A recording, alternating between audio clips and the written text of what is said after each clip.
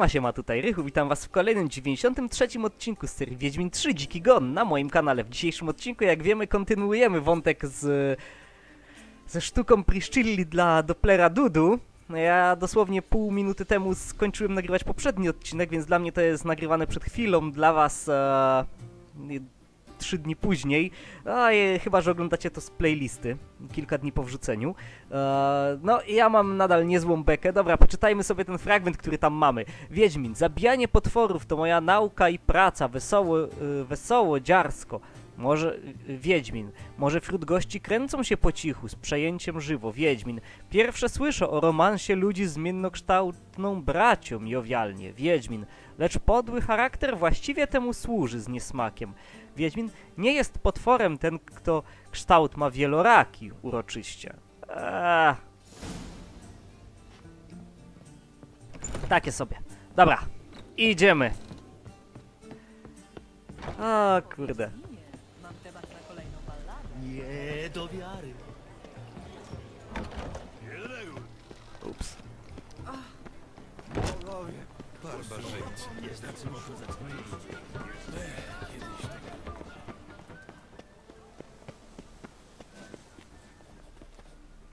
A ty gdzie? Tam kultura jest, a nie żeby se każdy ham łaził jak chce. Tu występuje trupa Madame Iriny? Ta. Ale wpuszczam tylko za biletami. A teraz to w ogóle żadnego przedstawienia nie ma. Tylko aktory próbę se robią. Mhm. To co? Dać bilecik? Podobno nie ma teraz przedstawienia. Ale bilecik kupić możesz.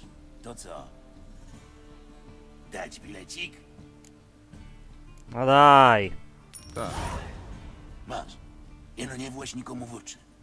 Bo te aktory na próbach strasznie wstydliwe. Dzięki. Było już prawie dobrze, ale Madame Irina, czy moglibyśmy porozmawiać? Geralt z Rivi. Jaskier tyle nam o tobie opowiadał. Przyszedł z tobą? Nie, ale mam nadzieję, że niedługo się tu pojawi. Przychodzę w sprawie Dudu. A w takim razie chodźmy porozmawiać do mojej kwatery na tyłach teatru. Tam nikt nie będzie nam przeszkadzać. Kurczę, to jest naprawdę fajnie zrobione, że te modele, że każda postać Jak ma inny model. Dudu i Jaskier ostatnio się u nas nie pokazywali. E, W, sensie, że każda postać ma jakąś cechę charakterystyczną, na przykład jakieś zmarszczki albo charakterystyczną fryzurę lub coś takiego. I to jest też ciekawostka, bo kiedyś był stary jeszcze taki bardzo e, glitch graficzny jego potem bardzo szybko wyeliminowano, ale w dniu premiery jeszcze był w pierwszych tygodniach po premierze. E, polegało to na tym, że kiedy z Tris szliśmy do tego magazynu, to w pewnym momencie Tris szła, a jej fryzura lewitowała obok, ponieważ e, fryzury w Wiedźminie, włosy są oddzielnym modelem nałożonym na e, czaszkę postaci, przez co wystarczyło wziąć model postaci i tylko wymieniać fryzury e, twórcom, żeby stworzyć e, oddzielne postacie. To jest po prostu na takiej zasadzie, że fryzura to jest, jest na przykład tam 10-15 fryzur, i zamieniamy na przykład fryzura taka do postaci z taką blizną, po chwili jak chcemy zrobić inną, to inna fryzura, ale na przykład do postaci z taką samą blizną, ale innym kolorem oczu, czy coś takiego. Na tej zasadzie to mniej więcej powstało i dlatego mamy właśnie tak dużo charakterystycznych modeli. Jaskier ma kłopoty. Tego się domyśliłam. Ciekawa jestem tylko, jak bardzo poważne. Uwiódł czyjąś żonę i teraz musi się ukrywać. Ułożył obraźliwy kuplet o kapłanach wiecznego ognia? Gorzej. Spróbuję go z tego wyciągnąć, ale najpierw muszę skontaktować się z Dudu. Ale on przecież też zniknął. Mam pomysł, jak go tu ściągnąć, ale będę potrzebować waszej pomocy. Mogę na was liczyć? Oczywiście, ale nie wiem, co moglibyśmy zrobić. Chciałbym wystawić sztukę teatralną, coś, co ściągnie tłumy do waszego teatru. Rozumiem. Chcecie, żeby Dudu usłyszał o przedstawieniu. Czyli to ma być jakaś zupełnie nowa sztuka. A kto ją napisze? Pryszcilla. Sztuka jest już gotowa. To historia o Wiedźminie, który ratuje Dopplera. Brzmi nieźle. Chętnie rzucę okiem na tekst. Ale najpierw musimy pomyśleć o nagłośnieniu przedstawienia i jakiejś ochronie. Zajmiesz się tym? Jasne. Domyślam się, że sztuka o Dopplerach może być kontrowersyjna, ale żeby od razu wynajmować ochronę? Nie wiem, czy często bywasz na przedstawieniach, ale publiczność w Nowigradzie uchodzi za wyjątkowo trudną. Zgniłe jabłka, pomidory, jajka. Raczej topory, maczety i cegły. Znasz kogoś odpowiedniego? Może rozejrzyj się w dokach? Tam zawsze kręci się kilku takich, co za parę koron podejmą się każdej roboty. Jak mam pomóc w nagłośnieniu tej sztuki? Jeśli chcemy, żeby usłyszało o tym całe miasto, trzeba porozmawiać z maskonurami. Co to za maskonury? To grupa ulicznych artystów. Jeśli oni będą zapowiadać tę sztukę, dowiedzą się o niej nawet omułki w dokach. Gdzie mogę ich znaleźć? Kiedyś wynajmowali kwaterę na Okrawkach, w kamienicy przy parku, ale nie wiem, czy dalej tam są. Ostatnio nie pokazują się na mieście. Może wycofali się z interesu? Sprawdzę, czy zgodzą się dla nas pracować. Dzięki za pomoc. Wrócę jak najmę ochroniarny. Do zobaczenia. Dobra, chodźmy. A więc najpierw poszukamy sobie tych e, całych maskonurów, ponieważ to jest e, op rzecz opcjonalna. A rzeczy opcjonalne zawsze... E, zawsze mogą dać nam dodatkowe quest, dodatkowe expy i hajsy. E, z tego co pamiętam, to powinno nas e, doprowadzić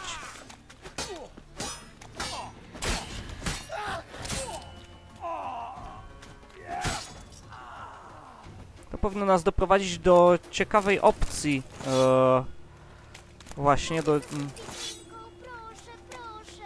Nie, nie możesz, bo prawdopodobnie twój organizm jest e, za słaby, żeby przejść wiedźmińskie próby. Higiena rasowa jest w tym mieście na tym samym poziomie, co higiena osobista mieszkańców. Kończy się litowa. Dziękujemy Wiedźminie. Mm, tu gdzieś powinno być wejście, nie?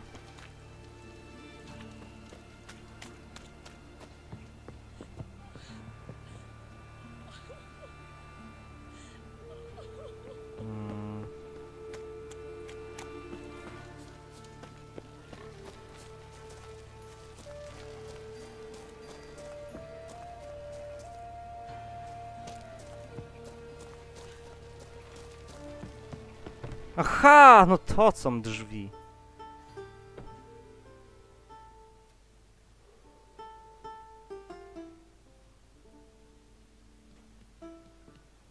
Ładna melodia, tylko strasznie smutna. W takim razie oddaję mój nastrój. Czego tu szukasz?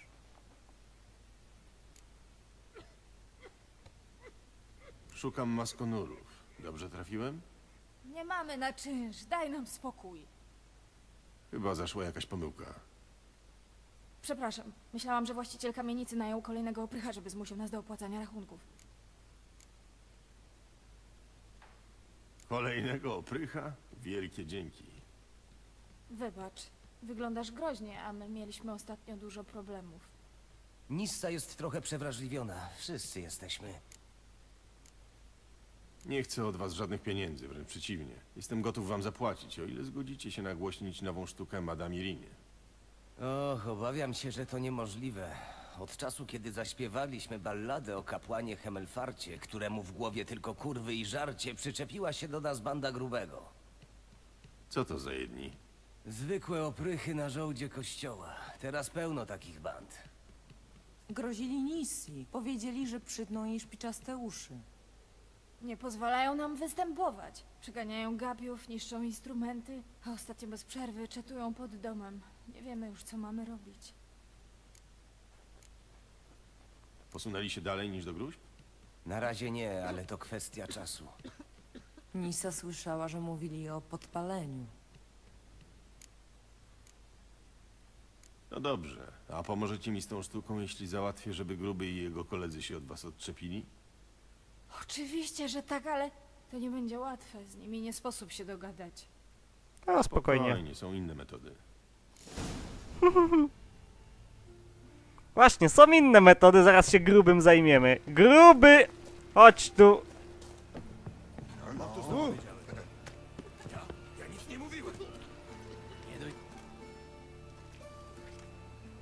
To wy jesteście Ej, gruby, patrzaj no. Zdaje mnie się, czy on ma kocie oczy.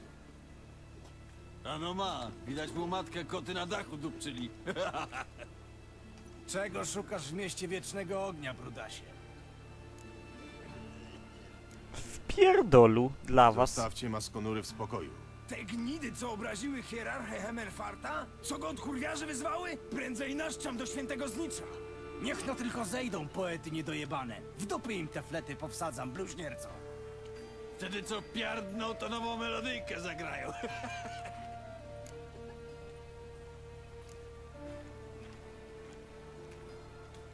Zostawcie maskonury w spokoju. Tak, zostawimy w spokoju. Co to kurwa? Czarna magia. Zajebać czarownika. Sami tego chcieliście.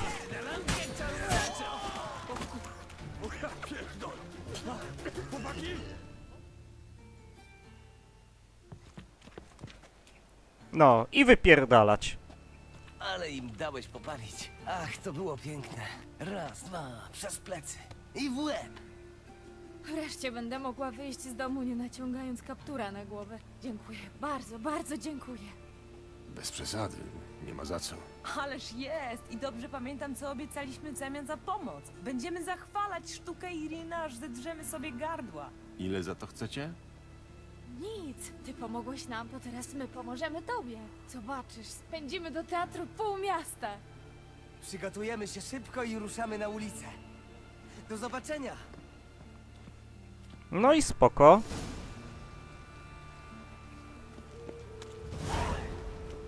Dodatkowe expy zawsze dobre. A my idziemy do doków. E, znaleźć ochronę, że tak powiem. Czyli no po prostu jakichś zbirów, którzy będą siedzieć i pilnować miast. Nam... E...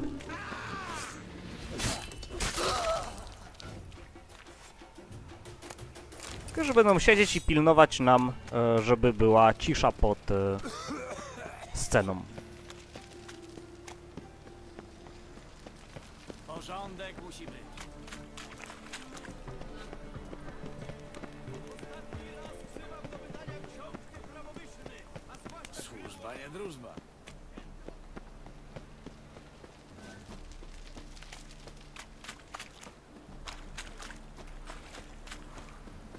Ta...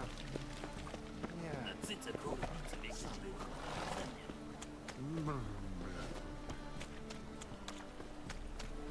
Kurczę, trochę to daleko jest e, do tych doków. Przyznaję, ale i tak pobiegnę tam szybciej niż jakbym e, jechał tam konno. Bo jak wiemy, płotka nie może galopować w mieście, więc to byłoby mega słabe, gdybym jechał jeszcze na płotce. No, słynny gdański dźwig. Żuraw portowy dokładnie. Dawniej używany w Gdańsku do rozładunku właśnie statków, e, które przypływały ze zbożem. Konkretnie to barek, bo to barki pływały przez całą Wisłę e, ze zbożem do Gdańska. Tam potem były ładowane na statki dalekomorskie i pływały na przykład do Francji albo mm, do miast e, północnych Niemiec. Pewnego razu we Francji był taki głód, że Francuzi przysłali flotę wojenną, która miała eskortować te, okręt, te statki, e, tylko po to, żeby ta żywność bezpiecznie dopłynęła. Widzę, jakieś mamy drobne spajki, nie wiem dlaczego. Ładna walka. Niezła praca nóg. Przyszedłeś zmierzyć się ze mną albo z Halem? Wiedźmin przeciw bestii z Metiny! Instynkt zabójcy kontra pierwotny szał! Naprawdę jesteście Nilfgaardczykami? Jesteśmy z Metiny, kurwa! Nie z Nilfgardu! Wychowani przez dzikie psy na szerokich równinach Magdala! Prawdziwi bracia krwi z niesławnych, brudnych alen Metyny! Kto się odważy stawić czoło dzikusom z południa? Kto spojrzy w oczy bestiom? Chcę was zatrudnić do ochrony. Chodzi o przedstawienie teatralne. Mamy się z kimś napierdalać na scenie? Macie przypilnować, żeby nikt się nie napierdalał pod sceną. Trafiłeś pod zły adres. Nas interesuje walka.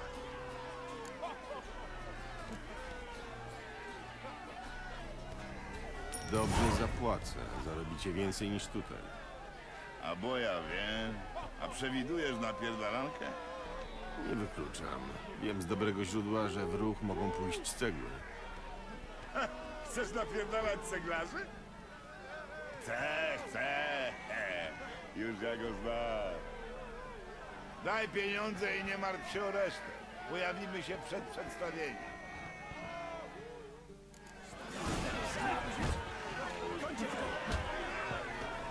Dobra, ciśniemy dalej. E, Co do właśnie tych zmiennych modeli, o czym mówiłem w poprzednim odcinku, to jeżeli tutaj przyjrzeliście się dokładnie temu gościowi, e, to sam model jego twarzy, sama tekstura jego twarzy e, jest... e, To jest bardzo podobna, tylko minimalnie zmieniona tekstura twarzy pana Lusterko, e, z tego co kojarzę. Tam są minimalne różnice. E, To jest właśnie efekt tego, że ciało to jest jeden model, twarz inny model, fryzura jeszcze inny i w ten sposób można stworzyć tak naprawdę niemalże no nieskończoną liczbę niepowtarzalnych NPC-ów e, przez to, że różne detale e, można dowolnie ze sobą łączyć. No, co jest naprawdę fajną rzeczą, bo dzięki temu mm, gra dostaje dużo imersji. Mm, świat staje się bardzo taki właśnie e, rozbudowany dzięki temu. Chwila, moment. Czy ja dobrze wlazłem? Patrzajcie, jaka pokraka. Ależ wieje. Kurde. Czy ja dobrze wlazłem? Nie, nie wlazłem dobrze.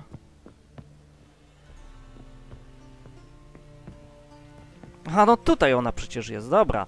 Okej. Mm. Ale to najpierw sobie przemedytujemy, ponieważ mamy późną godzinę już, więc medytacja do 7 rano.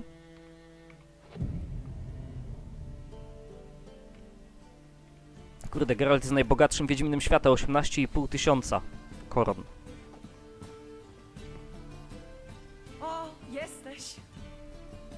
Udało mi się nająć ochroniarzy. Świetnie! Jedna rzecz załatwiona. Omówmy tekst sztuki. E, to jest całkiem nieźle napisane. Byłam gotowa narazić się na kompromitację dla Dudu, ale widzę, że to może być coś naprawdę interesującego. Wiem już nawet, kogo obsadzić w rolach sługi, Wiedźmina i Królowej, ale zastanawiam się nad księciem i księżniczką. Kto zagra Wiedźmina? To amator, nie pracowałam z nim jeszcze. Ale jestem przekonana, że w tej roli sprawdzi się znakomicie. Rozumiem, że niedawno dołączył do zespołu. Poniekąd. No nie udawaj, że nie wiesz, o kim mówię. No chodzi o ciebie. Okej, okej. To dobry pomysł. Nie sądzę, żeby udało mi się porwać publiczność, ale najważniejsze, żeby Dudu mnie zobaczył. Ale postarasz się wypaść dobrze, prawda? Nauczysz się tekstu. Postaram się, oczywiście.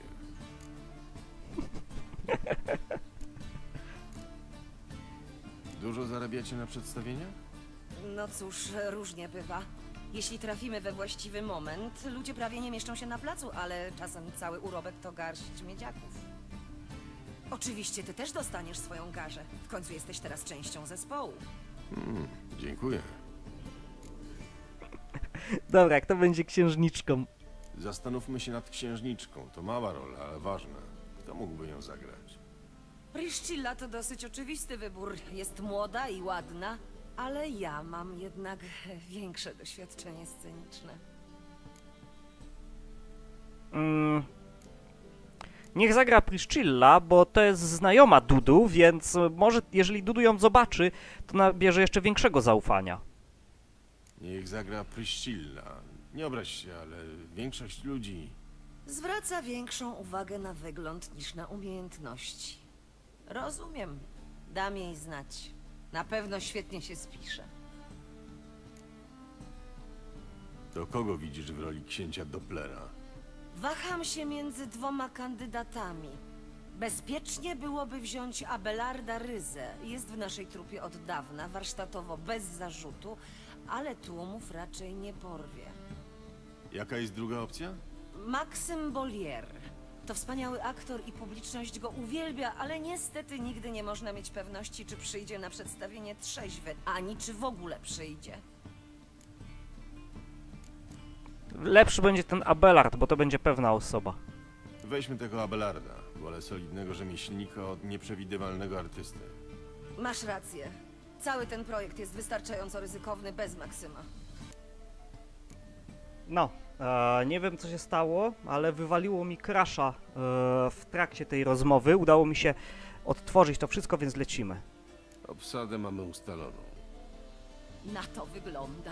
Jesteś gotowy rzucić się w wir kariery aktorskiej? Jasne.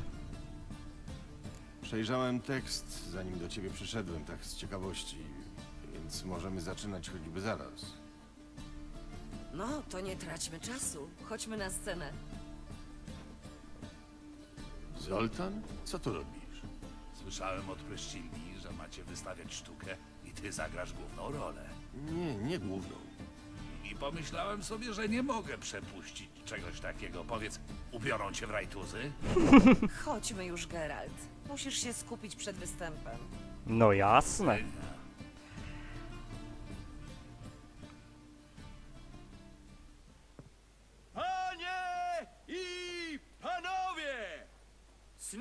Obywatele świętego miasta Nowigrad! Witajcie! Zapraszamy na wyborną komedię pod tytułem Ocalenie Dopplera! Wystąpią w niej Wiedźmin Geralt grający sam siebie, Katarina jako królowa, Leo Ribe jako podły sługa. W księcia wcieli się weteran nowigradzkiej sceny Abelard Ryza. W roli księżniczki ujrzycie zaś prześliczną, przeuroczą trubaturkę o słowiczym głosie Brisztille.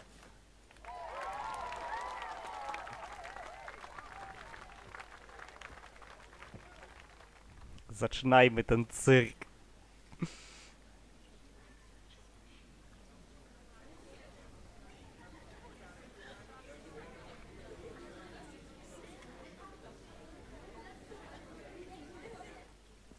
Królowo, ten pogromca potworów, któregoś była łaskawa wezwać, pokornie czeka w korytarzu. Wprowadź go! Chętnie się z nim rozmówię. A ja winka łyknę, tak, dla kurażu.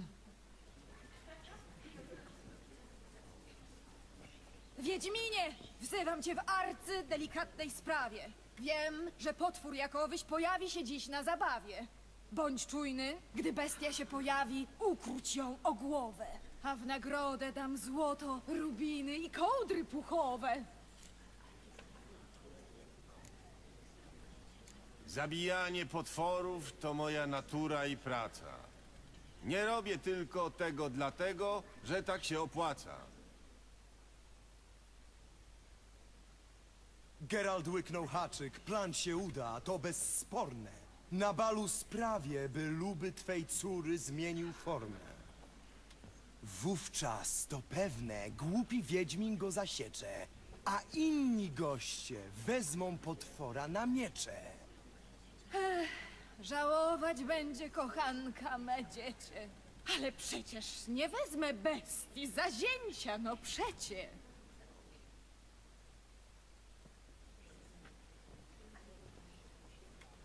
Zebraliśmy się tu z radosnej przyczyny. Dziś odbędą się księżniczki z rękowiny. A potwora ani widu, ani słychu. Może wśród gości kręci się po cichu.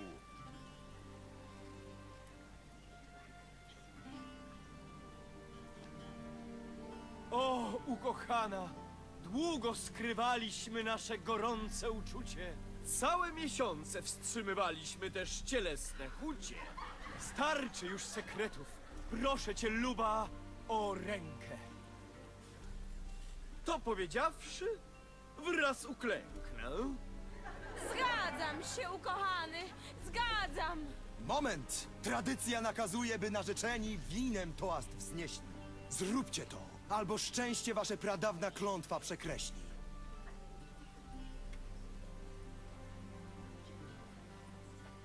Strata!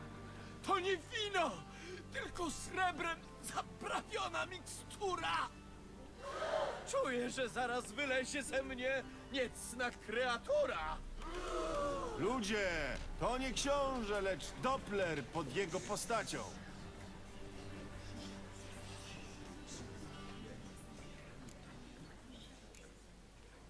Pierwsze słyszę o romansie ludzi ze zmiennokształtną bracią.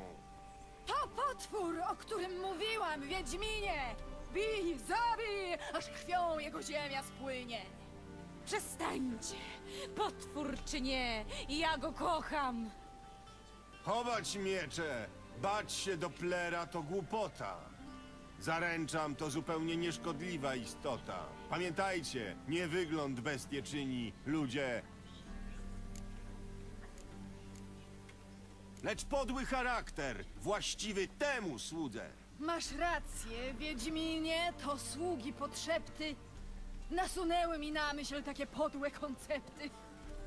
Oszczędź Dopplera, niechaj będzie mym zięciem. Człowiek czy nie, ważne, że córa kocha go namiętnie. Morał tej historii, dobrzy ludzie, jest taki.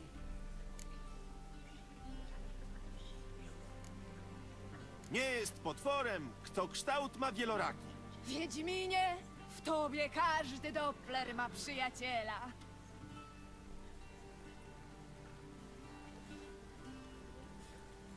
A podłego sługę czeka teraz najciemniejsza cela. Straż! Wezwijcie straż! Niech wyprowadzi stąd tego zdrajcę! Hola, nie słyszeliście rozkazu księżniczki? Zapraszamy! No chodź, Dudu, chodź. Chodź, Dudu. Panie władzo, no już! Dawajcie na scenę! No chodź, Dudu. tego zdrajcę w dyby!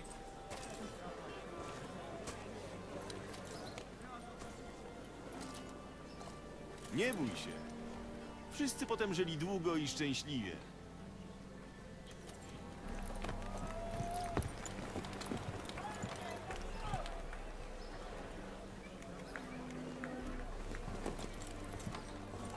Wkrótce potem Doppler i księżniczka ślub wzięli. A na czas wesela nawet sługę wypuszczono z celi. Miejsce Dopplerów jest na stosie! Palić ich trzeba! Daj spokój, nie widzisz, że to żarty są? W komedii to i gól mógłby księciem zostać. Nie przeżywaj, kurde.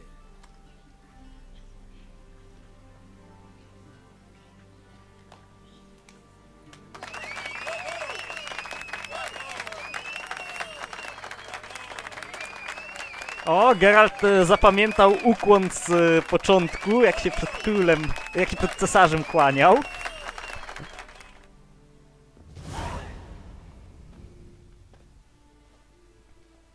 Geralt, jak wam się udało mnie rozpoznać? Witaj, Dudu. Słyszałem, jaką skurwiel zostawił ci pamiątkę na twarzy. Czyli wiesz o wszystkim. Spotkałeś Ciri? Nie, ciągle jej szukamy. Geralt! Świetnie ci poszło. Już dawno się tak nie uśmiałem. Jak opowiem chłopakom, to nie uwierzą. Nawet nie Możesz próbuj. mi wyjaśnić, jak udało wam się z Jaskrem narazić jednocześnie Roywenowi, Skurwielowi i Straży Świątynnej? Nie tak to planowaliśmy.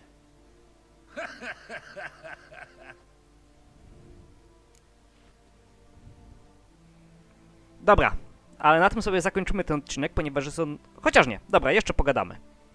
Jeszcze trochę pogadamy w tym odcinku. Dlaczego nie skontaktowałeś się z Priscillą ani aktorami? Byłem w teatrze kilka razy, pod różnymi postaciami, ale nie odważyłem się. Nie chciałem ich narażać. Ale kiedy usłyszałem o nowej sztuce, pomyślałem, że może wreszcie mam szansę dowiedzieć się, co z Jaskrem i Ciri. Wiem, że Ciri wróciła po ciebie do Skurwiela. Jak udało ci się potem uciec? Chciałem biec za nią, ale pewnie bym jej tylko zawadzał. Krzyknęła, żebym zmienił postać i znikał stamtąd. Szukałem ich po tym, Ciri i Jaskra, ale jakby wyparowali. Wystraszyłem się i codziennie podszywałem się pod kogoś innego. Zastanawiałem się nawet, czy nie powinienem zmienić się w Ciri, żeby zmylić tych, którzy jej szukali, ale Ej, że... Czekaj, no cudaku. Geralt, a kiedyś ty ostatnio widział Cyrillę, he? Dawno, co? Tak, dawno. No ja też. Teraz to duża pannica musi z niej być. Dudu, zrób nam przysługę i zmień się w nią. Na chwilę. Geralt? Nie, nie trzeba. Nie, nie trzeba. Na pewno poznam Ciri, kiedy ją zobaczę. Ja tak tylko pomyślałem, że może byś chciał... Ale chyba nie gniewasz się na mnie, Geralt, co? Nie. No, to mi ulżyło. A co z Jaskrem? Udało wam się go znaleźć? Dorwali go łowcy czarownic, ale mamy też dobre wiadomości. Z twoją pomocą możemy uwolnić Jaskrę. I co miałbym zrobić? Będziesz musiał podszyć się pod Mengego i wydać rozkaz przeniesienia Jaskra do Oxenfurtu. A potem my urządzimy zasadzkę w wąwozie i odbijemy go. Zaraz, chwilę, jak ja mam wejść w rolę Mengego? Nie wiem nawet, gdzie trzymają Jaskra. Jaskier jest przetrzymywany na Wyspie Świątynnej. Sam będziesz musiał ustalić, gdzie dokładnie. A co, jeśli to wyda im się podejrzane i zaczną mnie pytać? Założę się, że nikt nigdy nie zadawał dowódcy łowców czarownic zbyt wielu pytań. Poza tym jesteś Dopplerem, nie? I jeszcze podobno aktorem. Dasz sobie radę w każdej sytuacji. Jeśli zrobi się gorąco, możesz na przykład pójść za róg i zamienić się w cyzatą babę albo, bo ja wiem, w kawkę. Jasne. Dzięki. Nikt nie wie, że Menge nie żyje, więc nie musisz się obawiać, że zostaniesz zdemaskowany. Nikt nie wie. Poza wami. Czyżbyś miał coś wspólnego z pożarem w koszarach łowców czarownic? Powiedzmy, że byłem w pobliżu. No. Żałuję, że tego nie widziałem. Poradzisz sobie. Wszyscy myślą, że Menge zaginął, więc możesz opowiedzieć im dowolną historyjkę. Moi chłopcy przygotują zasadzkę w wąwozie. Geralt do nas dołączy i będziemy czekać na wieści. Ale jak mam się z wami skontaktować jako Mengę i przekazać, że konwój wyrusza? Będziesz musiał coś wymyślić. Zmień się w gołębie pocztowego albo coś. No, wszystko jasne? Dudu, jazda na Wyspę Świątynną. Ja idę zwołać drużynę i czekamy na ciebie, Geralt. Tak. Do zobaczenia w wąwozie. Zaraz, chwila. A co potem? Nie oczekujecie chyba, że zostanę na stanowisku jak szapeli, tylko od czasu do czasu kogoś spalę dla zachowania pozorów. Nie. Oczekujemy, że po wszystkim przyjdziesz do Szałwi i Rozmarynu, gdzie wszyscy się spotkamy. I narąbiemy jak dzikie borsuki. No, ustalone? To do roboty. Świetnie ci poszło. Nie pomyliłeś się ani razu. A jak ogólnie oceniasz nasze przedstawienie?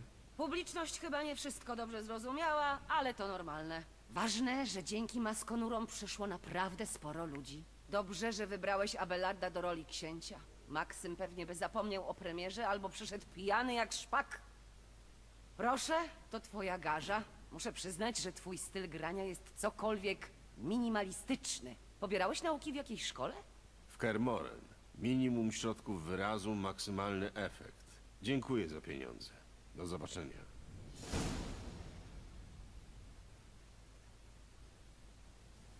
Mhm. Expy, expy. Aaaa, dwa punkty. Really? Dobra. Na tym sobie ten odcinek zakończymy, ponieważ jest on już wystarczająco długi, tak więc jeśli wam się podobało, to komentujcie, subskrybujcie, lajkujcie, oceniajcie. Pamiętajcie o poleceniu kanału znajomym, ponieważ może znajdą oni tutaj coś dla siebie. Ja zapraszam was już wkrótce na kolejne odcinki z Wiedźmina, gdzie... E,